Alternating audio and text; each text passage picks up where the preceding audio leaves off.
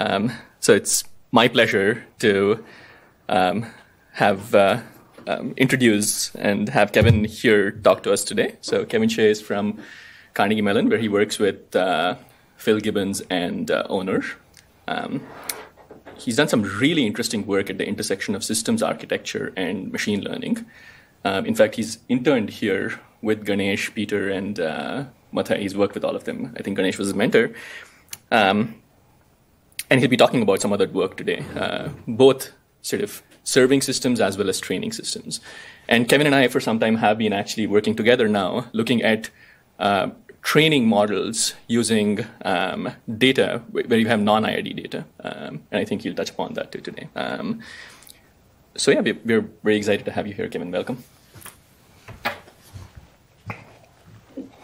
Okay, uh, thank you for the introduction, Amar.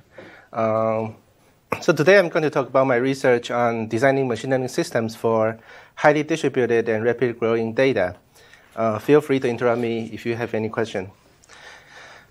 Okay, I'll begin the talk with a very quick overview. So, as we all know, the explosive development of machine learning has enabled many interesting and important applications, such as face recognition, object detection, self-driving car, language translation, and many, many other more. and the, at the core of these machine learning applications are two key machine learning phases, which are training and serving. So at training side, uh, we usually we typically collect a set of training data and feed them into a machine learning training system to generate a machine learning model. And then we will feed them into a machine learning serving system to answer questions based on the serving data uh, for example, we can train an image classification model based on a set of images. Then we can answer questions such as what type of object is this uh, image. So the key objective of both training and serving are low latency and low cost. Low latency is very important for training because it can typically take hours or even days to train a model. Uh, on the serving side, it's also very important to make it low latency because the serving is usually part of a user-facing service. So the latency will determine the usability of that service. Low cost, on the other hand, is also very important because uh, it determines the user, uh, practicality and feasibility to deploy machine learning application. However, when we deploy uh, machine learning applications in the real world, we have to pay more attention on those training and serving data. This is because in the real world, a lot of machine learning data are actually generated at rapid speed at different places. For example, many large organizations like Microsoft or Google deploy many data centers all over the world. And many machine learning data, such as images, videos, user activities, are generated at different places. As a result, those machine learning data can be highly distributed and rapidly growing, and they can pose new challenges for machine learning to achieve low latency and low cost. So to give you a more concrete example, uh, let's first look at the serving side and then how rapid growing data affect serving. For example, we can have a lot of traffic cameras in a city that keep recording videos that are rapidly growing. And then we can build a machine learning serving system to answer questions such as find me the video frames for particular objects such as trucks. So typically we have two options here. We can do all the processing at ingest time for the live videos, but that will incur high cost because we don't even know if those videos will get queried. On the other hand, we can do all the processing at the, at the query, at query time by the time that we know what, what we are querying for, but that will induce long latency because all the work are happening at query time. The other example, let's look at training side. Uh, let's say we want to train a machine learning model based on the data that is geo-distributed. When we do this, the training will have, to happen over this uh, wide area network, which typically much slower compared to local area network within each data center. As a result, this training can become high cost and incur high, uh, long latency if we do this sort of training over. Yes. No, I was just going to ask: Isn't the practice today to get all the data to a place? Yes, it is. Train it, or do they train it? Uh, Um, so centralizing data is, uh, I, I think, more typical way to do it. But there are issues with that. For example, you can, uh, for some data, that's too costly to move them. And also, there were some uh, law constraints, such as data sovereignty law, that you cannot move data out of EU, for example. So there are cases where we will need to do this geo-distributed training. Yeah. Okay. So in this talk, I'm going to talk about the machine learning systems I designed for this highly distributed and rapidly growing data. I'll first introduce Focus. Uh, this is a machine learning serving system that aims to provide low latency and low cost querying for rapidly growing data. And I'm going to use video as a use case. Uh, this is also an intern project that I did uh, with Ganesh, and some of you may already know about it. And the second uh, system I'm going to describe is Gaia. This is a machine learning training system that enables training over geo-distributed data and make it as fast as training within a single data center. And finally, I'll talk about some ongoing directions that I'm doing also with Amar about training over uh, skewed data sets and also some future work directions. So I'll first talk about the serving side and focus. So um, video is actually one of the most rapidly growing data uh, at this time because we have so many cameras all over the place. We have traffic cameras in cities, we have home cameras, we also have monitoring cameras in retail stores, enterprises. Actually, we have cameras in this room, many cameras here right now. Right? So one of the key applications that machine learning enable with over this video is that we can query objects in those videos. For example, a city planner uh, can may be interested in all the trucks showing up in a city for a period of time, or if say there's a garage uh, burglary event happen in a garage, then we may be interested in all the video frames that with people in it. So running those query, we need to use uh, detector and classifier CNNs, uh, which is usually costly and slow when we have massive videos. I'll elaborate on that very quickly. So one typical approach to enable this low latency query, as I said at the beginning, is we can do this ingest time analysis, which is that when the live videos are recorded, and then we can just run them through those expensive neural networks, and then we generate the index. The inverted index can be object class mapped to the video frames. Then at query time, we only need to look up the query based on the object class that users are interested in to return the frames. This uh, approach will make query very fast but the downside is it will be very costly. For example, if we use uh, the, a, a, recent neural network like YOLO V2, it can cost almost $400 per month per stream. So imagine we have thousands of uh, videos to, to ingest, it will be very high cost. On the other hand, uh, it is also potentially wasteful. For example, the burglary event that I discussed at the beginning, uh, if we only, we may be only look, uh, interested in a particular garage video, but uh, at ingest time, we wouldn't know which garage video we are interested in, so we have to analyze all of them. That can be a lot of waste. Uh, so the other approach is that we do nothing at uh, ingest time, and then we do all the work at query time. It will save us the cost at ingest time and reduce waste. However, and also we can further uh, optimize that using frame downsampling, skipping, or using a query up, uh, query specialized CNN and cascade them with expensive CNN to make it even faster. In fact, there's a uh, state-of-the-art system that's called NoScope that does exactly that. However, using, even using this kind of uh, specialized system for video is still very slow. It's going to take five hours to query a month-long video. So in this work, our goal is to enable low latency and low cost querying over rapidly growing video datasets. In particular, we want to build a system that can uh, process a lot of video streams, and the user only need to provide a, a expensive CNN and the accuracy target. And then at query time, the user query for particular objects and will return the frames. So before, yes? Uh, you said five hours for, for one plug. All the scenarios you described seems like that would be an acceptable delay. Yeah, five hours. It, for the scenarios you described, it seems like that would be an acceptable delay acceptable delay? Yeah, I mean, doing conducting a police investigation takes days. Uh, doing city planning planning takes years. um, yeah, so I guess it depends on the uh, application. For example, if, if, we are if we are doing some, um, for example, let's say if there is some event happening in the city and we want to look for a particular kind of car or a particular kind of truck, then then the latency requirement will be uh, much higher. And also just in general, as a service, if we provide a service that takes like hours to run, I think it's just in general not, not good for most users. Yeah. So I guess you can also think of building higher level services where an event is triggered and at higher levels we still lose it. So, for example, you know, if there's an accident, uh, detecting that and actually, you know, triggering, say, uh, emergency, emergency services to actually be notified and come. Right? You, you want it to be low latency as opposed to big long. Right? Right. But that wouldn't require a month-long video. Yes. That wouldn't require much long videos. So it depends on the application. Yes. Yeah, I was going to say, you know, the, if I have a really urgent query, it's probably over the most recent data, which bounds uh, the amount of data I have to uh, analyze too. So I probably don't have an urgent query over a month-long video, over months of video, right? If I care about an analysis over older video, I can probably wait. Or maybe you'll get into these, of tropes. Yeah, so I guess, yeah, so it, it it's indeed depends on the application, I agree. Yeah. For some applications, it's obviously more latency tolerable. Yeah.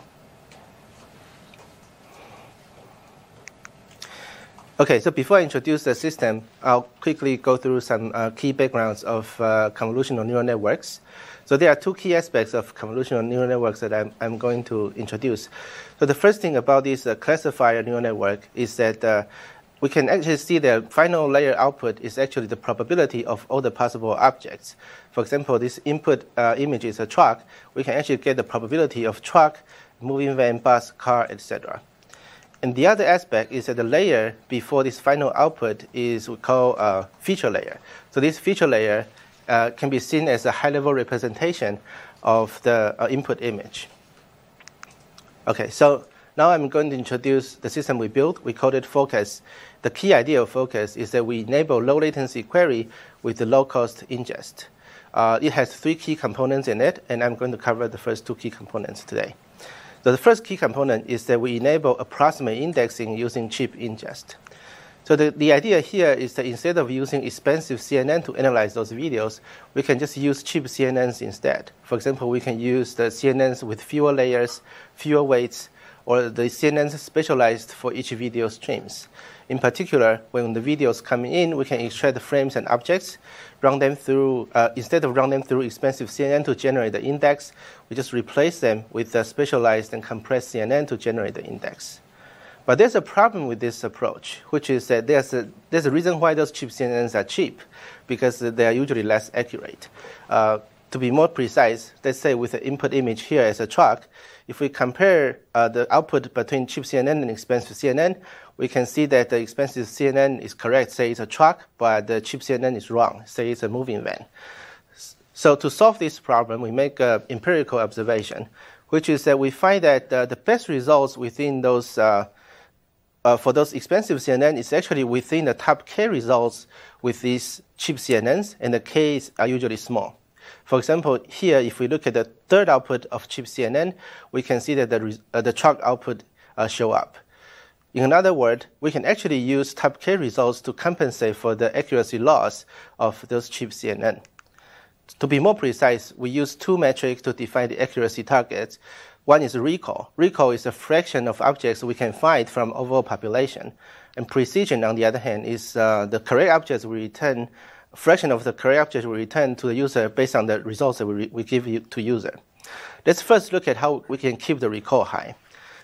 So here we study a particular video, and the y-axis is recall, and x-axis is the number of output we select from those cheap CNN.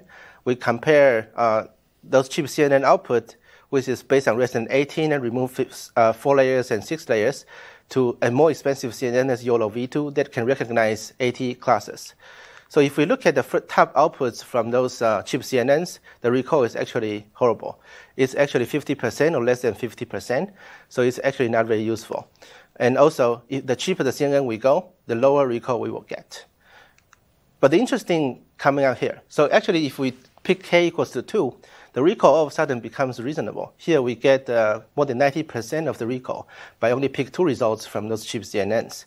And if we pick k equals to 3 or 4, we can actually get more than 99% of the recall, which is uh, the accuracy is enough for many applications.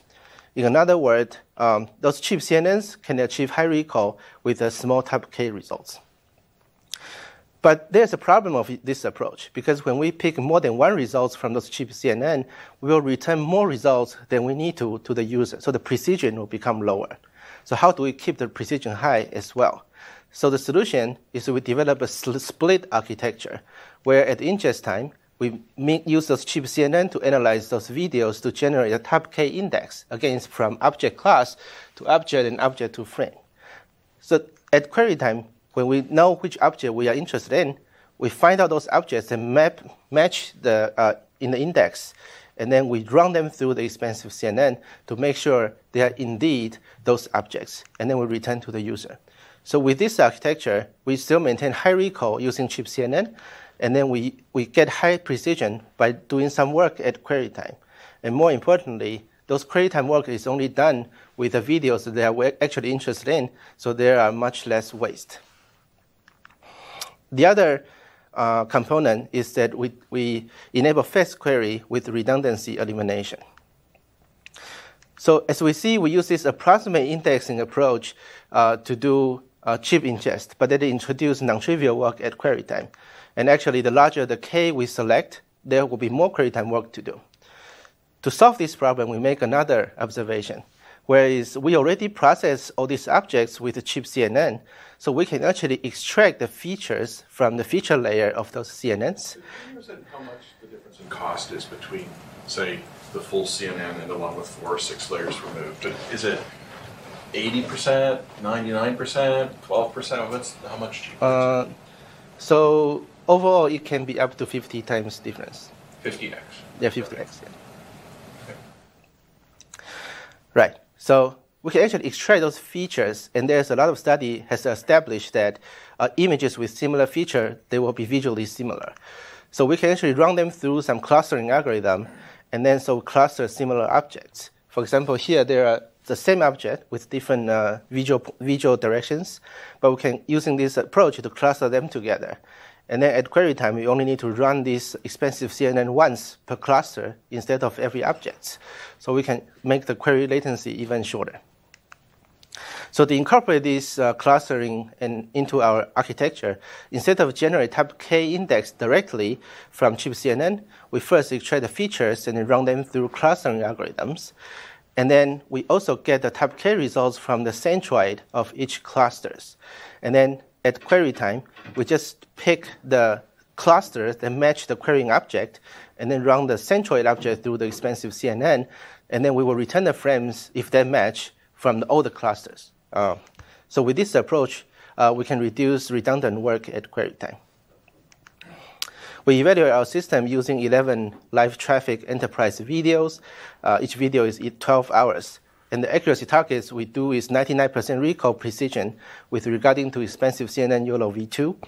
And we compare with two baselines. One is the, basically the two that I discussed at the very beginning, ingest heavy, that ingest everything using the expensive CNN and ingest time and store the inverted index. NoScope, on the other hand, is a query only system that optimizes heavily for the query. I understand what you mean by 99% recall and precision with respect to YOLO. What, what's YOLO V2? The YOLO V2 is a relatively recent, recent object detector CNN that uh, I think they win some competition for, uh, I think, this image ImageNet uh, object detection uh, competition. Okay, and, Yeah. and is it the CNN that you're cutting, that you're using and cutting layers out? So yeah, so that's the that's the baseline. Okay, because when you showed those numbers before, the, the recall for the Yeah. full-size CNN was like fifty-five percent or something, right? It was not. So, so this is ninety-nine percent of fifty-five percent.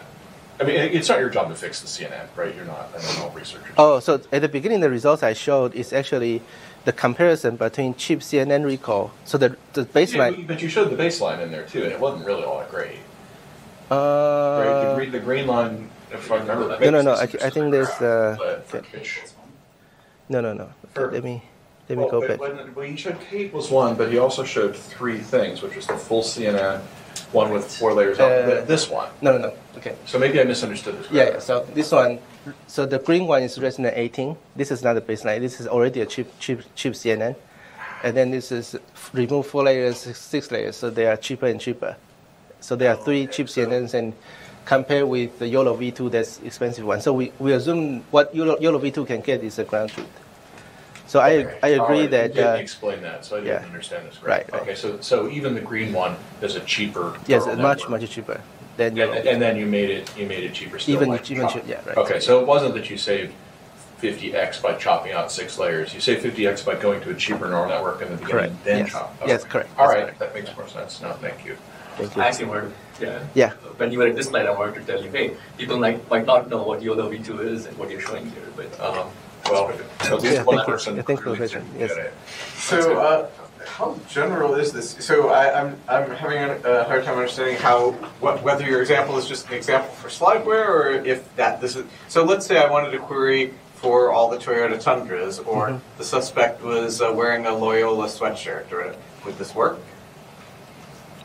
Um, so right now we we based on object detector CNN uh, that they use more general uh, ca- uh, classes such as people or cars or truck, moving van, stuff like that. But you can imagine you can train another kind of neural network that can uh, recognize more detailed classes. Or you can even uh, build some service on top of that. For example, you can find cars first and then do some sort of histogram to find gray car, blue car, uh, like things like that. But, but that's not, uh, so in, in this particular work evaluation we did is based on uh, YOLO V2 that recognize general classes. But you can imagine you can train neural network to do I it. could imagine, but how how well how how, do, how much of your results are an artifact of the fact that you have a limited set of things to choose from, and how how, how much would the, these results generalize to a much broader set of things that, that you might not even have anticipated was were going to be queried to? Um, that's a good question. So in, in our evaluation, we mostly based on YOLO V2, but we also did another uh, evaluation that's based on uh, ResNet 152 that can recognize actually a thousand classes. Um, but obviously, that's still not uh, the precise example that you say. But we sort of try to try to show that it's not just because it's, we can only recognize 80 classes, so it's easier. We also do a thousand classes, and we see that it's actually quite applicable to that situation as well.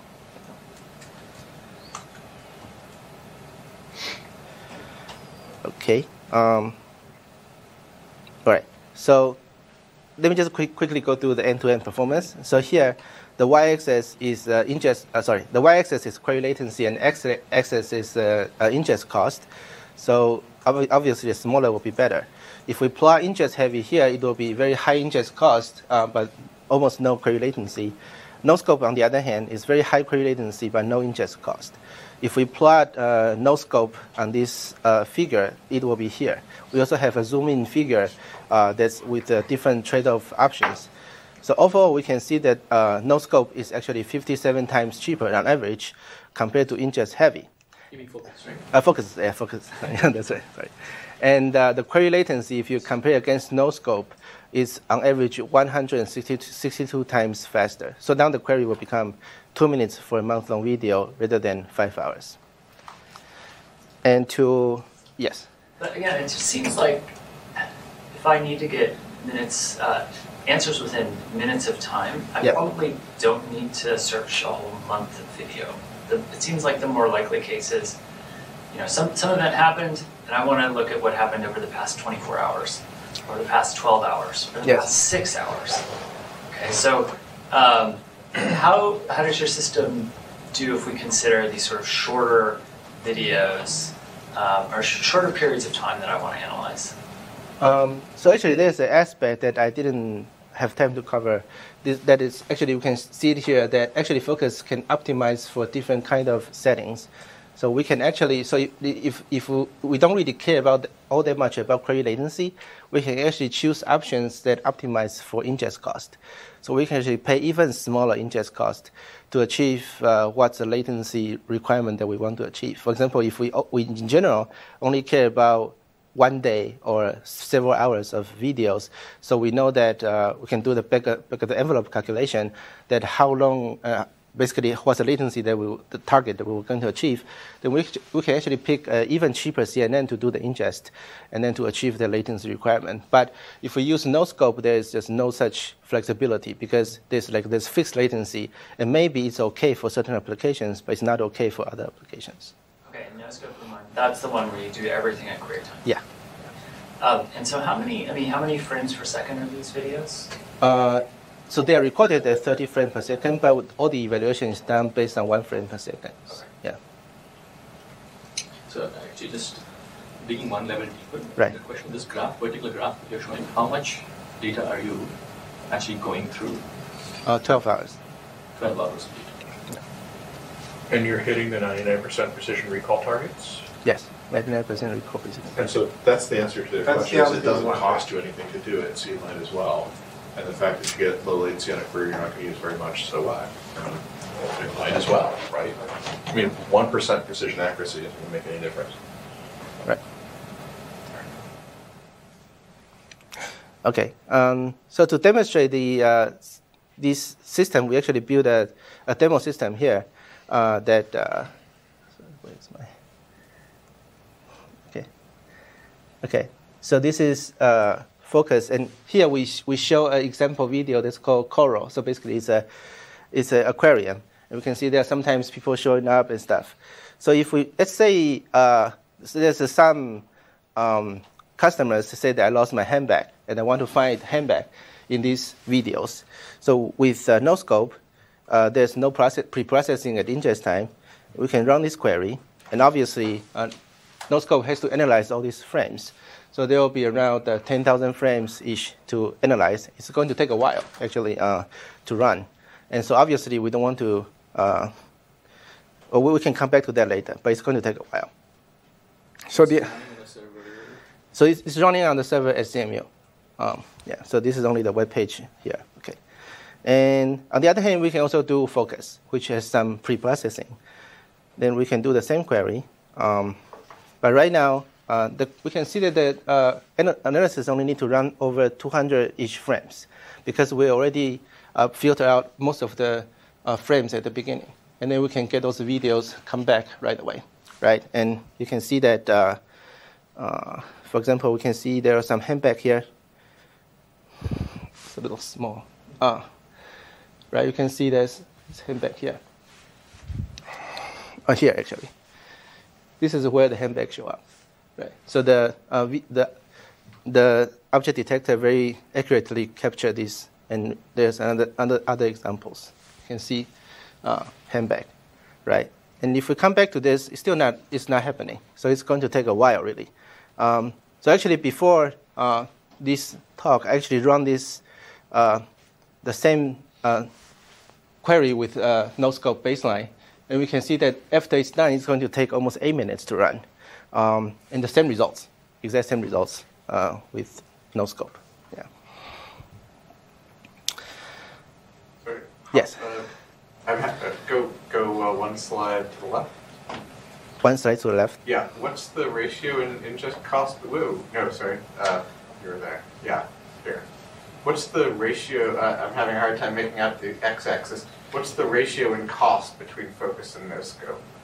So NoScope is almost um, NoScope. There's no ingest cost. So it's if you want to re- do the I mean, ratio, just you total go- cost. uh, or total cost. I don't have the number off the top of my head. I, I believe it's uh, around 20 times difference. Yeah.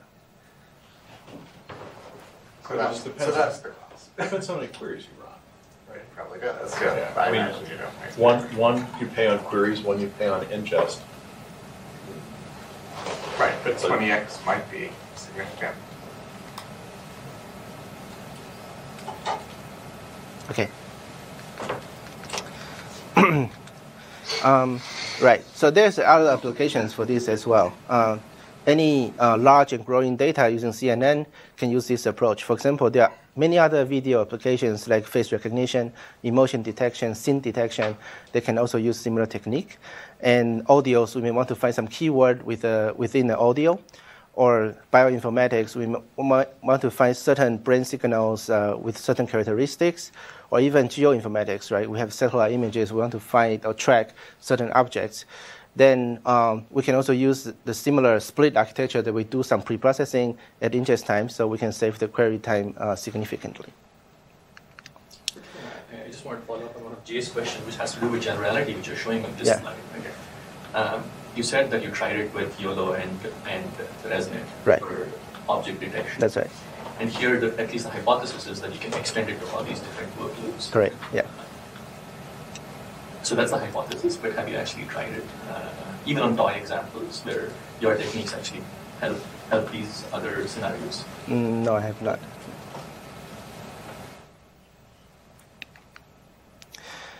Okay, so now let's move on to the training side, and I'm going to introduce Gaia.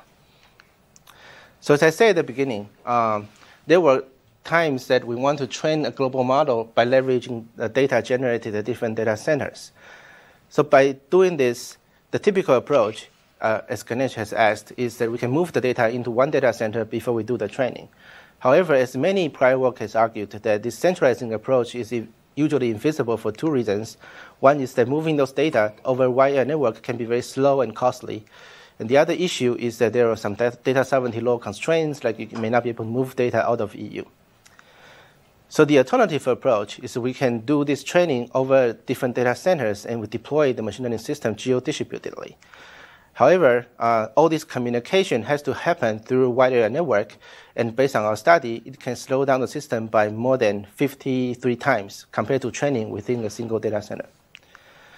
So the goal in this work is we want to develop a geo-distributed system that we can minimize communication over a wide area network, and we can retain the accuracy and correctness of the machine learning algorithms, also with no change for the algorithms and uh, machine learning programs.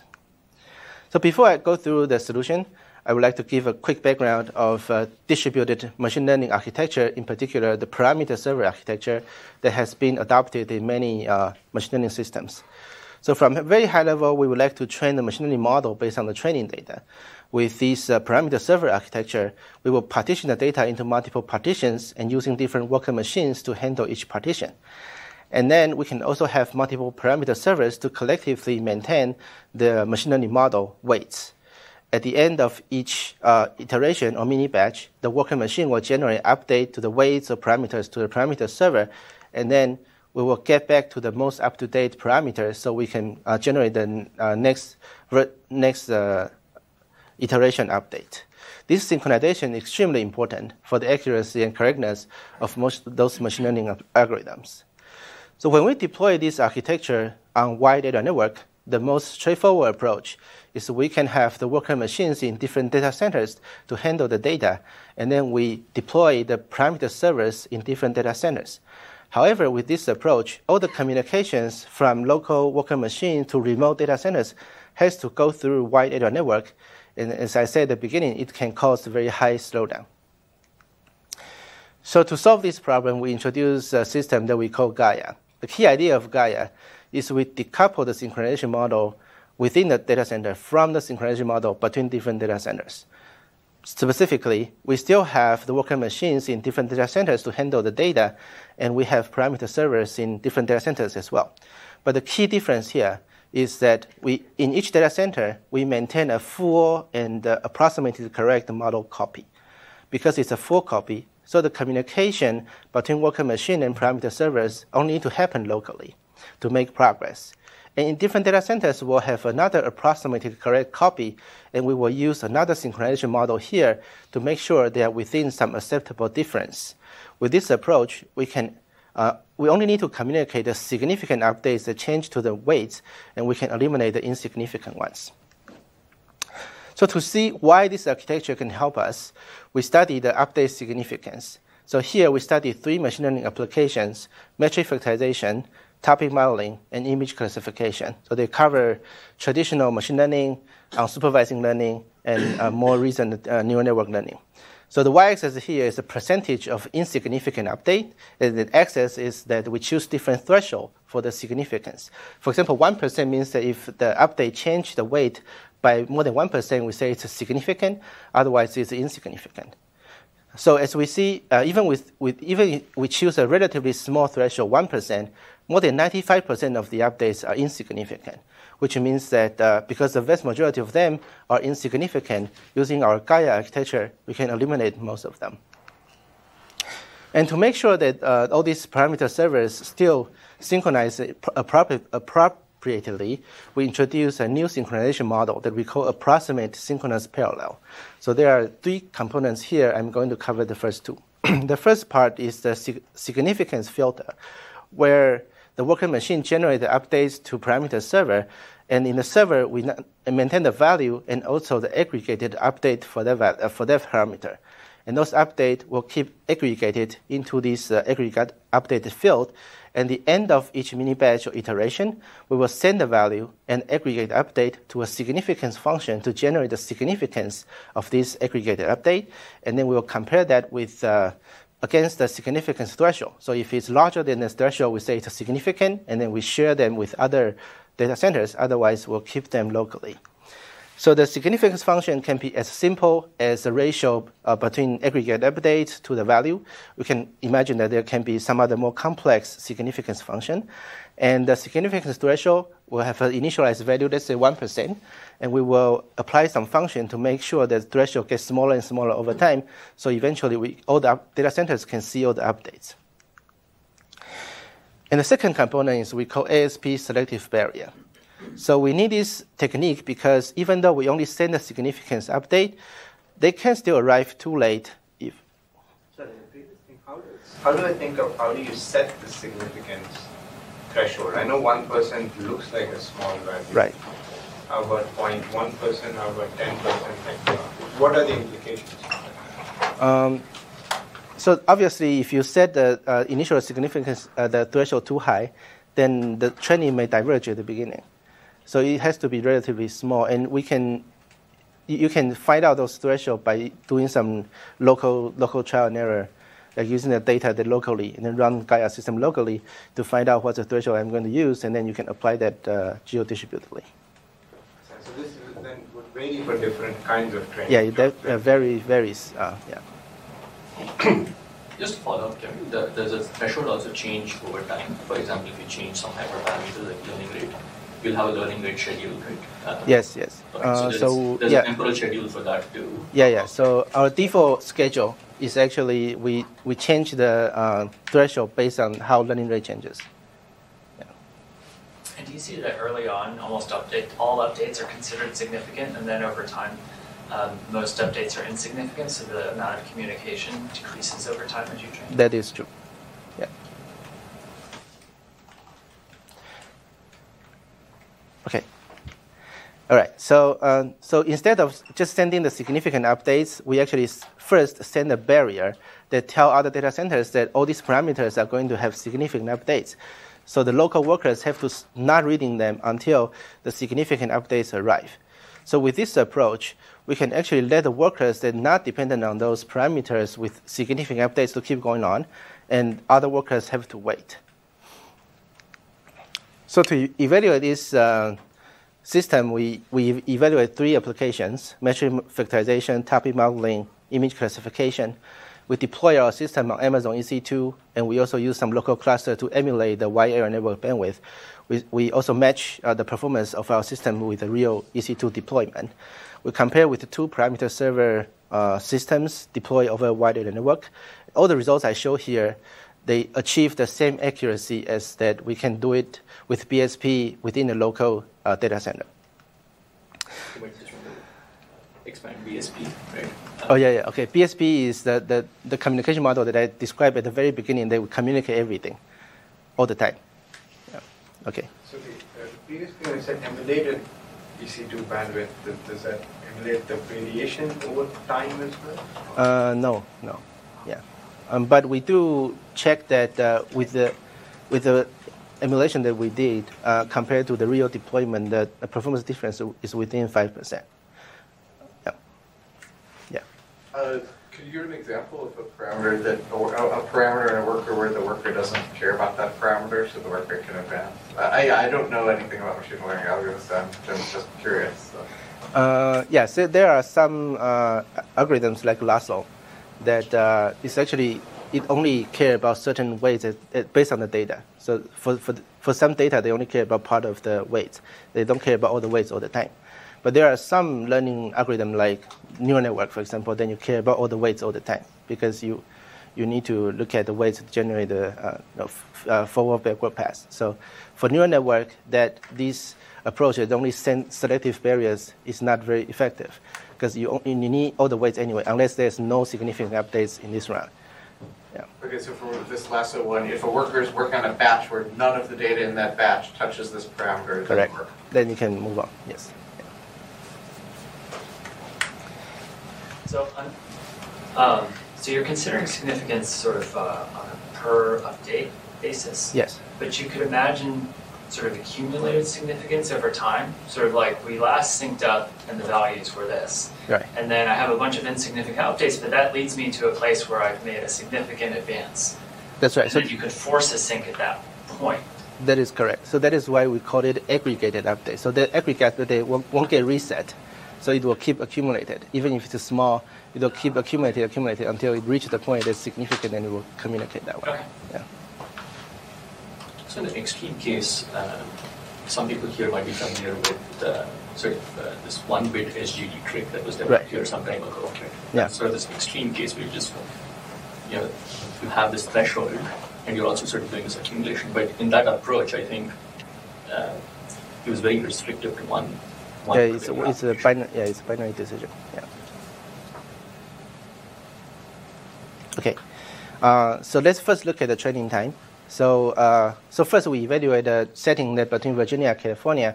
So it's within the same continent, wider network, and the y-axis is uh, training time. Uh, so as we can see, compared to baseline, Gaia is much faster and also very close performance to LAN, which is that we train the algorithm, uh, train the same algorithm with the preloaded data within a single data center.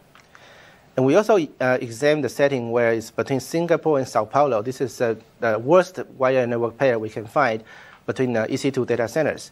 And we can see that in this challenging approach, we can still see that Gaia pretty much can close up the gap between LAN and baseline. Even in the most challenging case where we're running image classification, we can see that Gaia can achieve more than 50 times speed up over baseline. It's very similar performance to LAN. And overall, uh, it's at most uh, 1.23 times of the LAN speeds. We also evaluate the cost of running this uh, on EC2. So here we segment the cost into three parts. One is the communication cost of a wider network, and also the machine cost of waiting for network, and also the machine cost to do the compute. We first look at the matrix factorization with different uh, wide, network, wide network setting. Y-axis is the cost. And we can see that uh, in all settings, uh, Gaia is much cheaper, mostly because we eliminate a lot of communication costs and the time that waiting for the network. And it's pretty much the same with other applications as well. So overall, Gaia can achieve up to 59, uh, 59 times uh, uh, cheaper compared to baseline. So before I go, go to the third work, I quickly summarize some key takeaways. Hold on. Yeah. So it seems to me you, you missed an important output on this which is you didn't tell us how much accuracy the models lose by doing this as opposed to doing a local. There's no loss. So, no so loss yeah, so I, I talk at the say at the beginning. So all the res- reports results are reported based on the accuracy that we can achieve within the single, single data center. Okay, so doing this training where, so like, if you say vary the the threshold, the you know, the communication threshold number, would you then start getting lost or? At some point it will, but we are reporting the threshold that doesn't. So if you make the threshold very high, say 50%, yeah. then obviously there will be some loss. But so there are two, two key insights that why it doesn't. So first is that uh, at the beginning of machine learning training, there were a lot of updates happening. And uh, at that time, even the threshold is high, uh, it's, still, it's still kind of fine because we're not fine tuning to the optimal point. And then at the, at the very end, obviously, it's very important that we find the optimal point. And, uh, but at that time, the learning rates are usually much smaller, which means the updates itself are much smaller, Move, moving with much smaller updates. And we tune our threshold to make it smaller as well. So eventually, they will converge to the same point or similar points. We actually have some theoretical justification for that as well for convex setting, but for non-convex setting, obviously, it's much harder to analyze. Uh, but for con- convex setting, we actually setting, okay. we have a theoretical proof for that. This actually works. Yeah. Yes. Sorry, for the non-convex setting, though, you have all these results are matching baseline accuracy. That's right. So those, th- these three are actually non-convex, all three. So topic modeling is not even whatever convex because it's unsupervised. And for matrix factorization and image classification, they are non-convex at all. But we still see that the accuracy is still the same with uh, what we can achieve within single data center. So uh, how does it compare to this alternate baseline? In the alternate baseline, you don't have any coordination between the two data centers. You Right. treat two entirely separate models. Right. And your model is, first tell me which data center this data was generated closest to, and then apply that model. So And it's a very good question. So, um, so, so that first of all, that depends on actually something I'm going to discuss very quickly. But data skew. But let's say there's no data skew, and we actually did that experiments with face recognition. So, uh, if we have the full data set, or part of the data set, or quarter of the data sets, we can see that the uh, performance actually drops significantly. Uh, so, it is important to have the view of the full data set. But on the other hand, if there's a major data skew, then there's a different story, which I will co- I'll cover very soon. Yeah. Yes. Um, so your your your time is already very close to mine, so maybe this question is irrelevant. But uh, I'm wondering, like, could you just do all of this asynchronously? Like, could I just sort of apply updates to my server, and then in the background, it also swaps updates with other parameter servers, and they all kind of get jumbled together and applied. So I never actually have to block after I make an update, waiting to synchronize with some other machine. It's all kind of done asynchronously and they all get mixed up. So that's that's a model that called total asynchronous uh, parallel. Uh, that's actually work for the uh, thing Hogwild uh, that, that does exactly that. But that actually been proven that only works for certain algorithms. For example, for neural net, it just doesn't work at all. Uh, because you suffer in, in precision and Yeah, yeah, and you just diverge very quickly. Actually, so even within a local data center cluster, Yeah. if you run ASP, which is this model where you're not blocking and communicating, um, there has been work from others that have shown this too, but we've also got results showing that BSP is actually much better uh, because you've seen this divergence in, in BSP. Yeah, Okay, One one more question. yeah. Um, So at the beginning, when you were giving the justification for this, you you gave two justifications. Yeah. One is you didn't want to centralize the data, and the second one is that there's some legal. That's right. I totally buy the second one. Those are, I mean, we suffer under GDPR all the time. Right. Um, But for the first one, um, how does the total data transferred for your system compare to just centralizing? Very good question. I have the slide for that.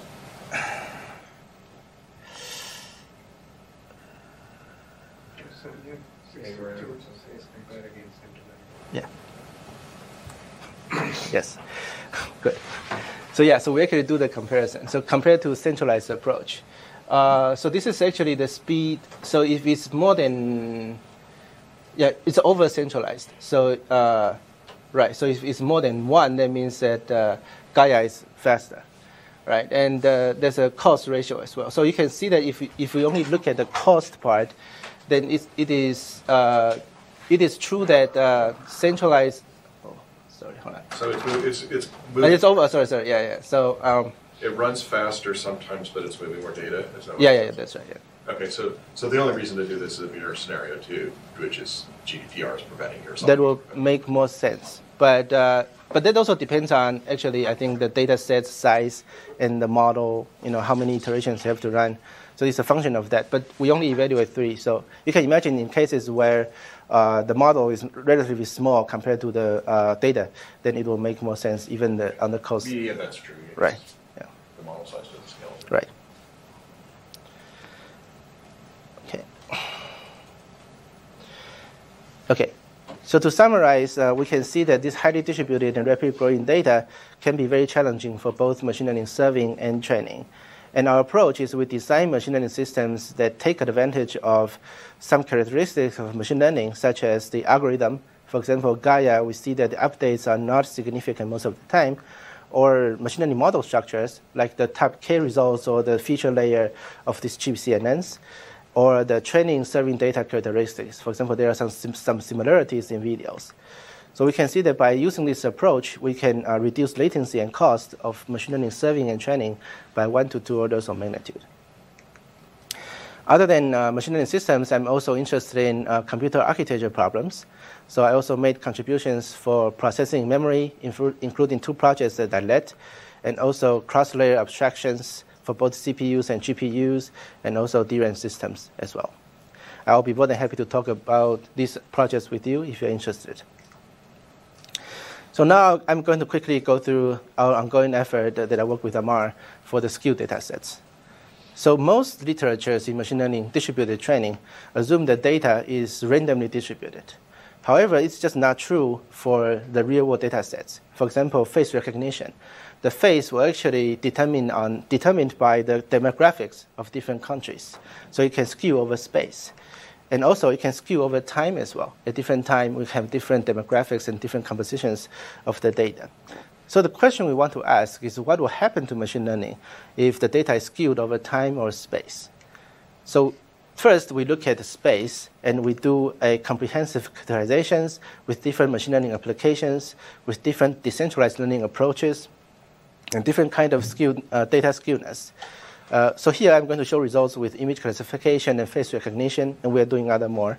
And I studied three decentralized learning approaches, including Gaia and other two very popular uh, decentralized learning approaches that reduce communication overhead the way that we create skewed data is essentially we, for example, image classification, we put different uh, image class to different places. Face recognition is the same. We put the pictures of different people in different places. Um, to see how these skewed data affect the model quality, we look at this particular example, GoogLeNet over CIFAR-10. So the y-axis is top one validation accuracy, which is the, you can see it as the model quality. And for the shuffle data, we can see that for all four, uh, all three uh, decentralized approach, they match the accuracy with BSP very well. It's exactly the same. However, if it's skewed data, the story is totally different. For all three approaches, there's a major uh, accuracy drop with them. In another word, uh, all these uh, existing decentralized learning approaches don't really consider this uh, setting, and they can lose significant accuracy with, by dealing with this kind of data. On the other hand, BSP, which is uh, we, we communicate everything all the time, it can be accurate, but it will be too slow if the communication is the bottleneck. We observe the same results across the board. For example, different neural network with the same data sets, we can see the same results with skewed data. We also tried it with different data sets, ImageNet, and it's pretty much the same results. We also try with uh, different applications, face recognition. They're using different, very different kind of validation scheme, but the results is pretty much the same. So essentially, this problem is actually pervasive and very fundamental for machine learning training, especially for those decentralized learning approaches. And what makes it worse is that actually for certain neural network, even using BSP cannot solve this problem. For example, ResNet, uh, that uh, we can see that even BSP lose some significant accuracy. And our study shows that uh, it's actually the neural networks with batch normalization layers that have this problem. So the immediate direction that we are looking at is how to solve this problem. So the idea we have is that since those decentralized learning approaches maintain different model at different places, we can actually do a periodical model traveling, which move model from one place to another. And we can use the training data in a, in a new data center to test the quality of this uh, new the model, and then we can learn if there is some accuracy gap between uh, different models at different places. We can use that as a, a, a proxy to see how, data how much data is skewed. And also we can learn another thing, which is which data samples are creating these accuracy drops. And then we can do two things. In the case where uh, by low constraint, we can move the data, we can tighten the communication uh, based on the skewness or accuracy drop that we learn. And the other thing we can do is that, let's say, if data movement is possible, then we can do selective data shuffling. It's like active learning. So we can pick the data samples that we think are creating issues for, for my data center so that uh, we can uh, be more communication efficient and then do this training with skewed data. And we're also looking for solutions for neural networks with uh, normalizations as well. And obviously, this is the simplest case, right? So there are other cases where the data can also skew over space and time at the same time. So we are looking at uh, interested in the direction where it's continuous learning, that we keep learning distributedly, but the data can skew over time. So we need to be able to detect uh, when the data change and then incrementally and efficiently update the model because we don't want to retrain the model when the data is changed. But at the same time, we don't want to lose what we have learned with this old model. And also, we, we want to tailor to the application requirement because some, some application will be interested in more recent data. Some application will be interested in the global knowledge of all the data that we have seen. And the other thing, actually, there's a question that was asked by Jay as well that the trade-off between local model versus global model, right? Because sometimes it's actually more, making more sense to just train the local model and then because it works much better for the skewed data anyway, right? Uh, so uh, the question we are going to ask is, is it possible to train global model and local model at the same time? So one, one idea that we, are, we can look at is the idea called multitask learning. Essentially, for example, you can think of a neural net. You can train the bottom layers globally, so leverage the data uh, everywhere, but the top layers we can specialize for different places. So we can do this training at the same time.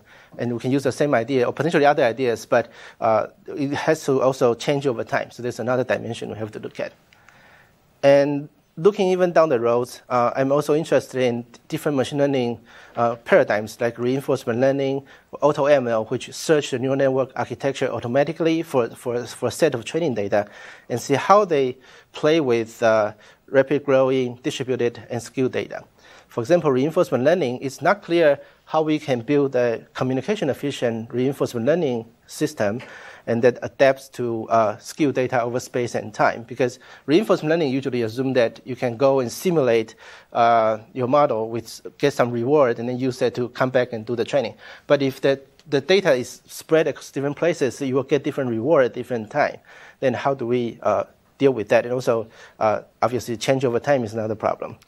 AutoML, on the other hand, uh, we usually need to explore many, many models to achieve the optimal model, which means that we need to run the same training for, not the same training, but run the training for maybe hundreds or even thousands of times. Then uh, the questions that Bill just asked to make more sense, right? Like, then why not just centralize the data? But let's say if we cannot do that, then we need a more cost-efficient approach. The idea, one idea is that we can train some local model uh, with different places and then try, try to find a way to merge this model uh, and then find a way to do that. And the other uh, direction is that how does these uh, decentralized learning approaches uh, interact with AutoML? Because with AutoML, we don't even know if a certain model will converge, right? But we also use this communication efficient approach that may create other problems for accuracy as well. So there's another dimension that we have to figure out. But if we don't use those approaches, the latency will be just unbearable, right? So there is a trade-off between cost, latency, and accuracy. So that's another interesting direction that I'm interested in. Okay. So with this, uh, I would like to acknowledge all my co-authors throughout the years. Uh, thank you. Um, I'll be glad to take any more questions.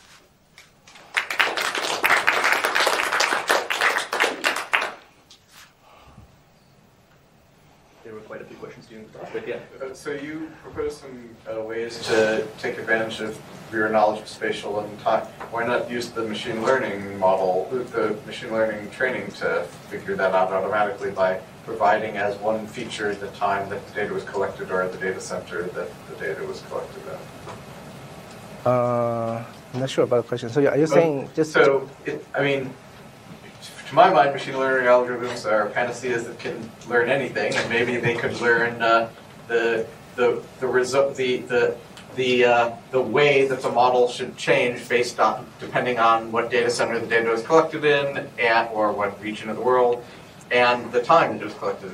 So why not just let the machine learning model do its thing by just supplying as one additional feature on on each data on each datum, add one more feature saying this is the place part of the world it was collected in, another feature saying this is the time it was collected in, and just let the ML algorithm figure out the the spatial and temporal uh, dependency.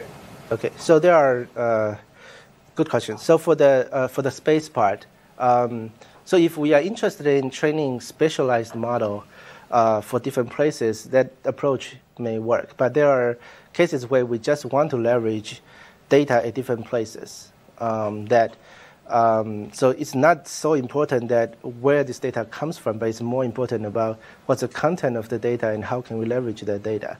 Uh, so even adding a feature point uh, to the neural network may not actually help. On the time, so actually time is very challenging because machine learning training is that we begin with some random model and we already converge to a certain model at, at some point, right? So at that point, moving uh, a model is not as simple as you know just getting some more data in and then you can you know restart because you have to consider if we move out of that optimal point, then how about the old data, right? This there's actually a term for. It's called uh, catastrophic uh, interference. That we we learn for the new things, but we forget about the old things, right? So uh, it's a very interesting problem, and uh, some people are working on that as well, like creating memory in neural network and you know doing some different kind of things. But it's still a very uh, new area. I was uh, sorry, it's not a new area. It has been proposed like in 1980s, but there are a lot of uh, recent work they're working on neural network with uh, catastrophic interference. It's just it's just one problem of that, right? The other problem is how do we even uh, update the model that we can efficiently reach a new optimal point that without uh, sort of consider all the data, right? Without retraining everything.